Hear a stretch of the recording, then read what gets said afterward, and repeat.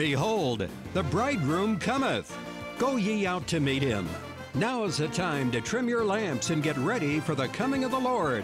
Stay tuned for the Midnight Cry broadcast.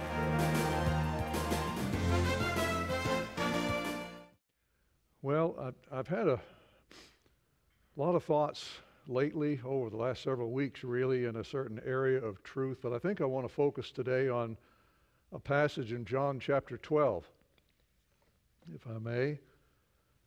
And uh, this is a passage that occurs in the last week of Jesus' earthly life, that is, prior to his resurrection. Thank God he came forth and lived and still lives. but prior to the crucifixion, this was during the last week. And, uh, you know, we see where Lazarus has been raised. He's had that, that dinner with Lazarus and Mary and Martha when uh, Mary poured the, uh, the expensive perfume and wiped his feet with her, her hair. And you have the, uh, what they call the triumphal procession the uh, anyway where he came into Jerusalem and everybody was shouting Hosanna to the King. And then we come into a passage where during the festival there were some folks, apparently uh, call them Greeks, but I think they were evidently Jews who happened to live in Greece, and they wanted to see Jesus. And it doesn't actually say whether they uh, whether he actually met with them or not, but it goes immediately into into a passage that I'm just going to go ahead and read very familiar to us in verse 23. Jesus said, The hour has come for the Son of Man to be glorified. Very truly, now, interesting, the, the hour has come for him to be glorified. He hasn't been to the cross yet. You sense in what Jesus said that there's a sense of destiny there, that there's no question about what's going to happen? Wouldn't it be nice if we had that kind of confidence in God?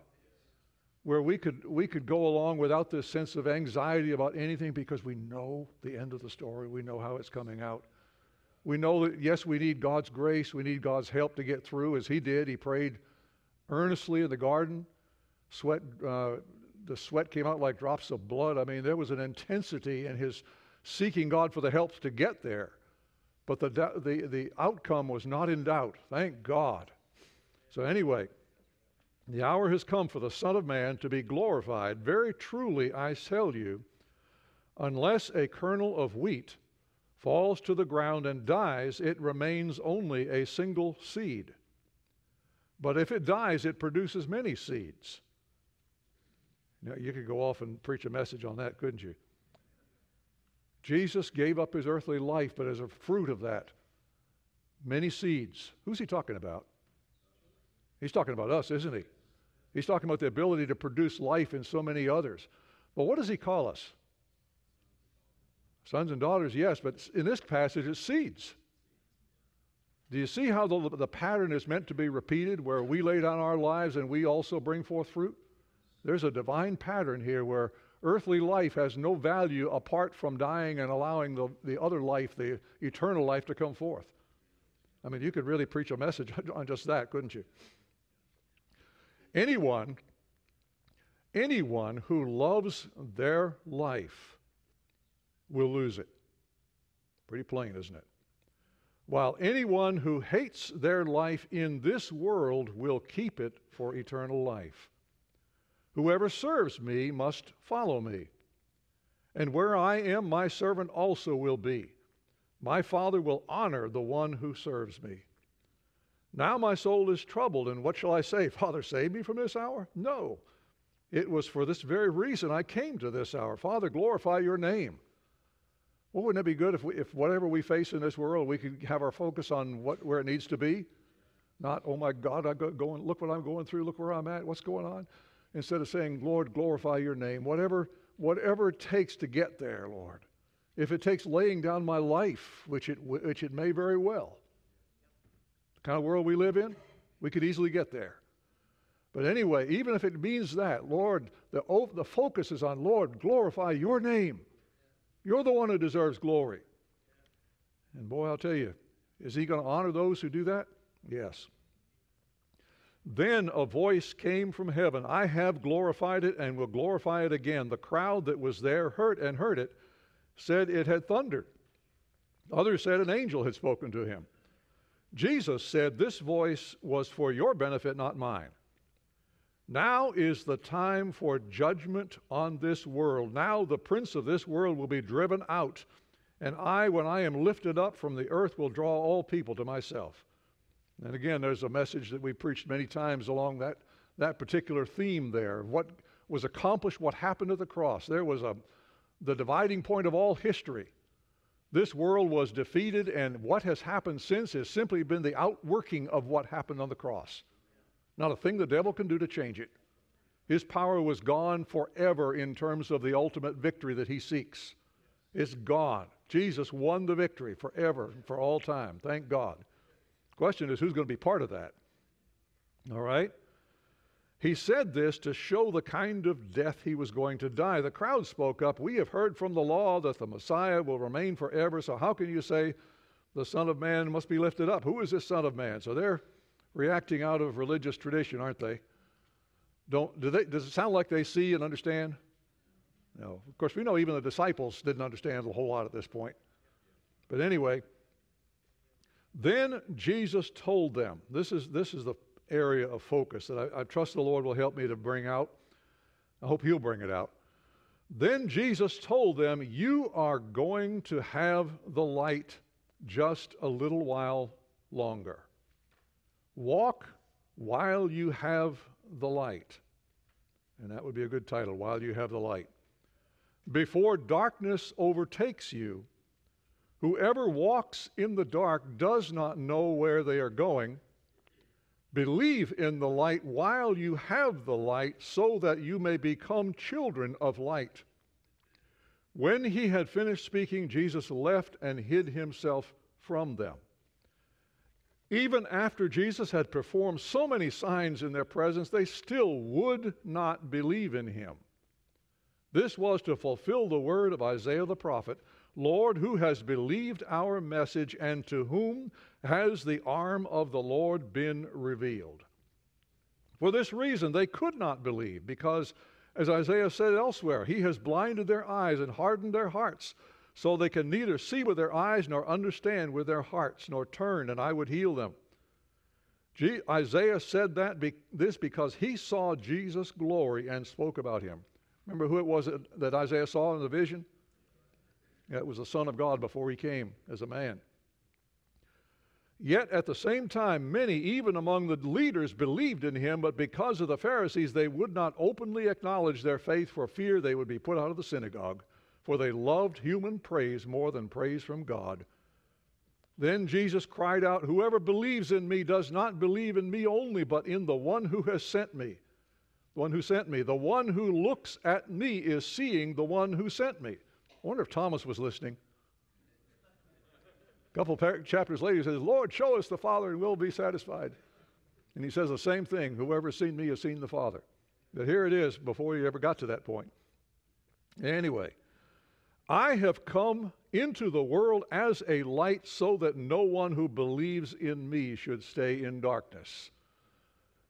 Folks, there's so many, so many ways, so many aspects to this truth that I've I, have sort of wondered as I've gone along these last few weeks how in the world, where do you go with this? You could preach so many different aspects of it. But the reality is, history is replete with examples of what happens that, that demonstrates the impermanence of this world. We know what happened when Satan tempted, tempted our first parents and they embraced that temptation, that lie that they could pursue their own desires and become like gods. And what happened? Was it light or darkness? It was darkness that began to that possessed the human heart, and the ra- the human race was plunged into darkness, in which it remains till this day. But God saw and knew all about what was going to happen, and He continually invaded, inserted Himself into human history in such a way that people did not have an excuse. And time and time again, you see the Lord speaking and making himself known to a people. And, there, and what happens? There is a process that happens where darkness gets darker And but there are a few people who continue to do what? They walk in the light. They believe in it. They are wholeheartedly a part of it. You know, Hebrews talks about Noah and his day and how by believing in God, by doing what God said to preserve him and his family, he was condemning the world. See, there's no middle ground here. There absolutely is no middle ground. And I believe God wants to emphasize this in a fresh way today. There is no middle ground.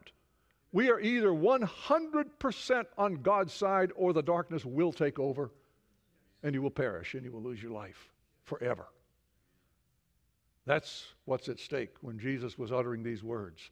And so we see that pattern work out in Noah's day as the whole generation hardened their hearts to, to Noah's message, even though God warned them, warned them, warned them over decades and all the, the, the time of history. They had the, te- they had the testimony of people like, uh, well, Noah certainly. Noah walked with God, and who was the, Enoch was the other one who walked with God in a very special way. But men followed earthly desires into darkness. And what happens when you walk in your own earthly desires? Here's, yeah, yeah, you lay down in sorrow. That's exactly right. But what, but what happens when God is speaking and He is shining light on the, on the truth? And it's not just abstract truth here. This is, He's shining a light in our hearts to see so that we can see the truth about ourselves and the truth about the world we live in. And what happens when people resist that? Yeah, their hearts get hard to the point where you can't hear. I mean, it almost sounds in one point when he quotes that passage from Isaiah like God just decides, I'm through with you, forget it, I'm going to I'm going to blind your hearts. But how does God actually blind a heart? How is it that a heart gets blind in the face of light? By rejecting it. It's when, and so God can actually speak in such a way that it will produce that result, be, not because that's what God wants, but because there is a condition in the heart that resists what God wants to say. And so you see that generation come to a point of judgment when God rescues a, a few and the rest of them do what? They perish. Jesus said that's the picture of what's going to happen when he comes. We are coming down closer and closer to that day. And so you see that pattern repeated throughout history, but this was, that, this was the pattern in Jesus' day. The nation of Israel was coming to an end. Okay? They were coming to a time of, of absolute judgment. Jesus warned them. He told his disciples, The time is coming when you know, you see this great temple here? Time is coming, there will not be one stone left upon another. He said, Woe to, the, to this generation. They've hardened their hearts. How often, he said on one occasion, he wept, wasn't happy about it. He wept over Jerusalem and said, How often would I have gathered you like a hen gathers her chickens? But what? You were not willing. So you see, the fault is obviously with the people and what their condition is. And that's why Jesus was saying, Walk while you have the light. There's light here right now. I have come into the world as a light. I came so that you wouldn't have to be in darkness. There's this sense of, of, uh, of coming to the end of, a, of an era. And we know how that played out. The church in Jerusalem was under severe persecution during its entire time there. And uh, you remember how James, Jesus' earthly half brother, became the leader of the church in Jerusalem. How many of you remember when he got converted? So he wasn't a follower when, when Jesus went to the cross, he wasn't a follower. He became a follower, and his brother Jude, who also wrote a book in the New Testament, became followers of Jesus after he was raised from the dead. Jesus made himself known to his brothers, and boy, they, they bought into it 100%. They became his followers. James became the leader of the, of the Jerusalem church. But they were under severe persecution, shut out of society, canceled. Use a modern term. We don't want to hear what you've got to say. Take, take those outmoded, wrong ideas and get out of here. Is that where, isn't that where we're getting? Yeah. And so, anyway, they came down to a point where the Jews said, Hey, I know what we need to do. We need to get James and put him up on a high place in the temple where everybody can see him. And he's going to he's going to renounce Christ and tell the people it was, all a, it was all fakery, it was all wrong. And so he gets up there and does exactly the opposite. he stands there and gives a ringing testimony of Christ. Well, that doesn't last very long. They throw him down from wherever it was onto the pavement and, and club him to death. I tell you, that's the spirit of this world. They can act real friendly, but you, you bring it all out into the open. Do you think Jesus said, for no reason, you will be hated by all nations for my name's sake? This is the, these are the waters into which we're sailing. And Jesus is saying, walk while you have the light. There's a, there was a time, there was an opportunity for a generation to hear. Of course, we know it wasn't very long after, after James, this is, we, we know this from history outside the Bible. But anyway, it wasn't very long after James was, was murdered where God had to warn the, the people in Israel who were serving him, it's time to get out. And they all, they all left Jerusalem, and it was right after that when the Romans surrounded it, and you had the terrible destruction of judgment that Jesus had warned about. And they were so relentless in trying to get all the gold out of the temple that they did tear it apart, brick, you know, stone by stone. Don't want to miss any of that gold. But there was, there, I'll tell you, there's a judgment that falls. Life just does, just does not go on and on and on. And it's awfully easy for us in America, especially since World War II, to imagine that it will.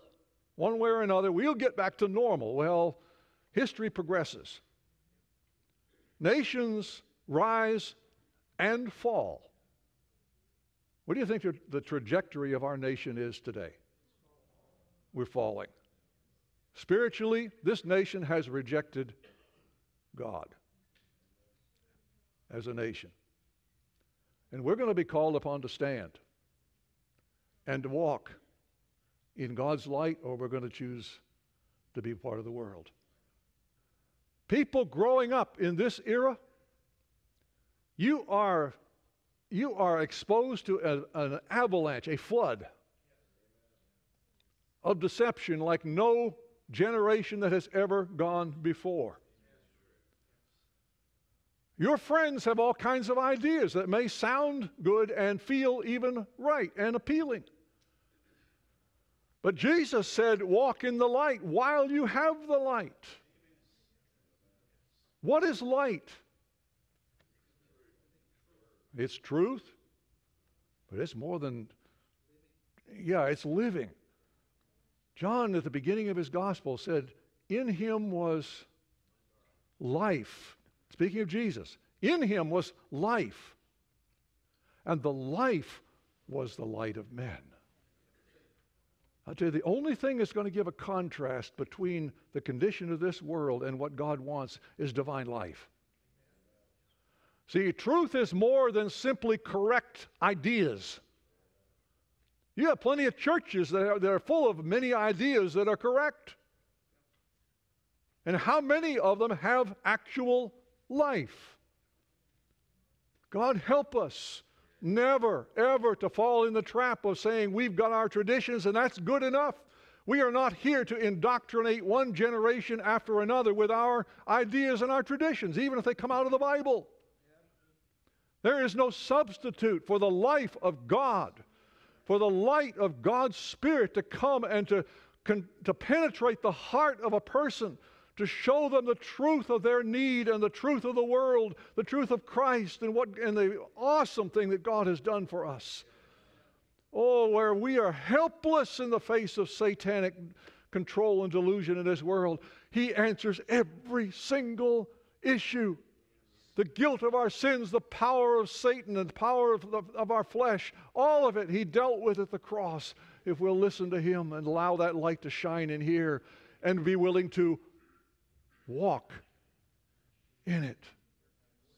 Do you see what the you see where Jesus is going with this? There's got to be an expression of, of God by the Spirit that, that absolutely penetrates the heart. You've got to have that for starters. But oh God, how easy it is for someone to hear all of that, to go along with it, but also to kind of drink in from the world and from this idea and that idea and feel like, you know, the, the spirit of the world says, kind of has it up to the individual, doesn't it? You know, you got your truth and I got mine. Mine's as good as yours. I got to find I got to find my own way, follow my own heart.